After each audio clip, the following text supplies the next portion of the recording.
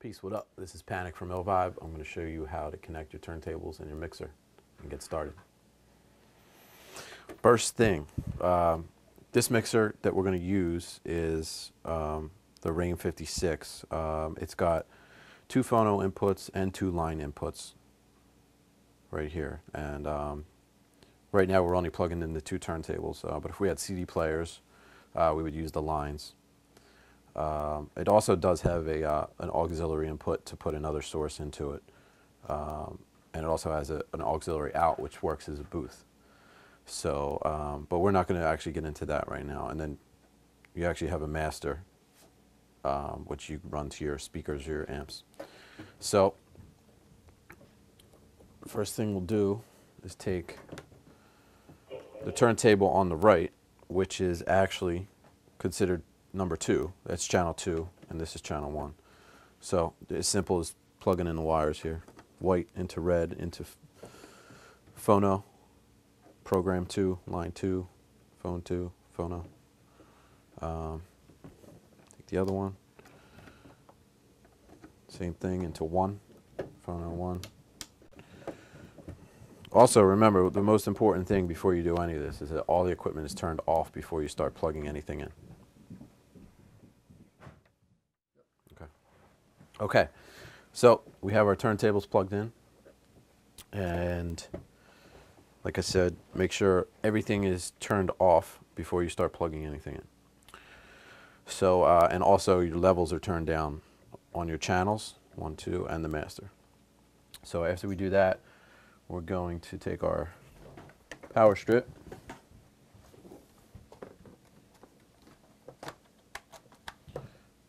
plug in both of the turntables. And then we're going to take the power for the mixer.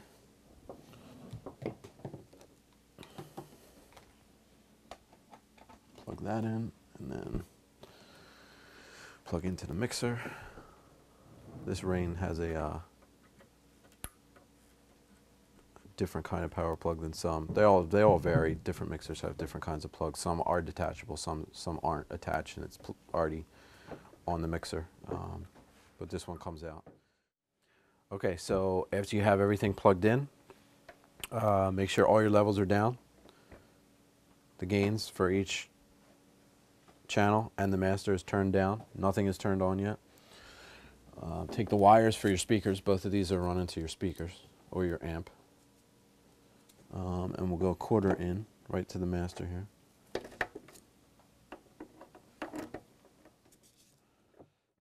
So, all right, we have everything plugged in now, and we make sure, once again, that everything is turned off. Um, once you have your speakers and all that set up and ready to go, don't turn them on yet. Um, and then the, the next thing you want to do is turn the power strip on. Our little assistant will help us here. Well, thank you, Robin. And now uh, just test everything. You get your lights on your turntables. That means they're both working. They're both on. So we can uh, now turn our mixer on. We got our little light here. On Somewhere on the mixer you have a light will come on. So next step is to go and turn the, the amps and the speakers on. Uh, once you have that turned on, then you can bring up your gains. And then finally, your master. And then you can go over to the amp or the speakers and adjust that. You're going to need to have a record playing just to get a signal coming through.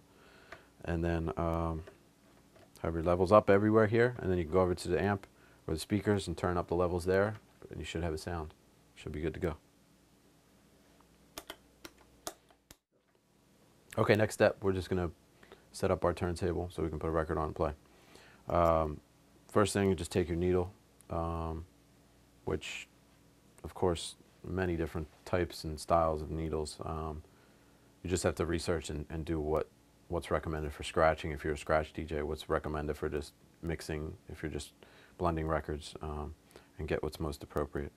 Um, so, simple, just pop that in there and that screws and locks into place.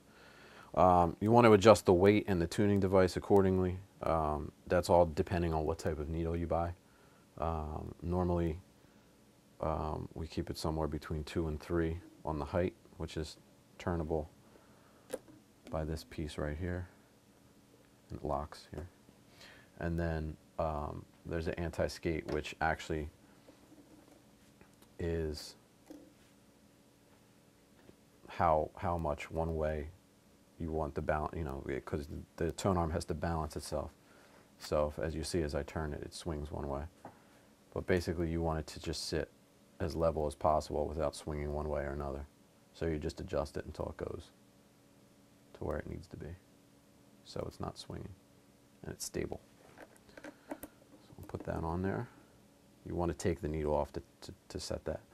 And then uh, traditionally, we just run this uh, weight all the way down to the bottom. Some people flip them off and put them on that way because it gets it gives you a little bit more weight on the on the needle on the record. But um, if you get a good needle, you don't necessarily need to do that. And if you put too much weight on the record, it starts to wear your records out. So um, we just kind of do a traditional, just all the way to the end, and then um, you can hear the how it sounds when you put the needle on the record. So um, right now, this is actually like a custom-made slip mat. Um, if you don't like going out and spending like 20 bucks on a pair of slip mats, um, this is actually just a piece of felt from the fabric store um, that was cut into a circle.